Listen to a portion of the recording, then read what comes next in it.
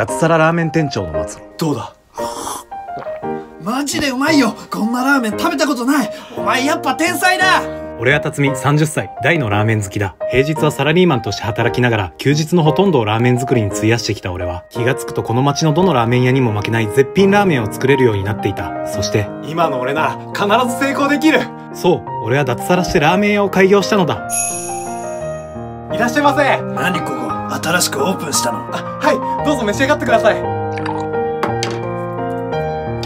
お待ちどうさまです。どうも。めちゃくちゃ美味しいね。俺のラーメンはちゃんと通用するんだ。運よく駅前の物件も借りられたこともあって客足も順調。この調子で繁盛店にするぞ。まずい。だんだんお客さんが少なくなってきた。今月の収支は1杯800円のラーメンを1000杯売って売り上げが80万円。利益がたったの10万円？値上げはできないしなんとかしないと。俺は早速支出のカットに着手した。まず悲しいことに一人でも十分店が回る程度の客数だったためアルバイトに辞めてもらった。そして原価を抑えるため食材の質も下げることにした。だがこの2つの決断がこの店にとどめを刺すことになる。うわあどうせ今日も人は来ないってめっちゃ行列できてる。たくなんだよあのラーメン屋。予告もなく急に休みやがって。ほんとまあ今日は近くにできたこの店で我慢しましょう。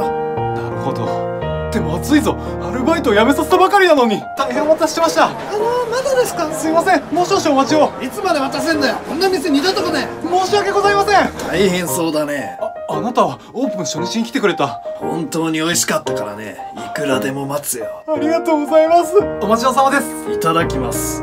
あれ？なんかスープ変えた？あはい。少し材料を変えまして。そっか。その後リピーターも新規客も来なくなりオープンから1年。俺は店を畳むことにした。くそ！ラーメンの値段がもっと高ければアルバイトも雇い続けられたし初めの頃の味も維持できたのに。んこの前急に休んだラーメン屋こんな時間だったのにすごい行列だ。ちょっと並んでみるか。次のお客さんどうぞ。えもう？お待たせしました。いらっしゃい。お客さん油多めでそちらに座っていただいて。はいお待ちを。ありがとうございました。なんて回転率だたった数人でこれだけの人数をさばききっている。うまい。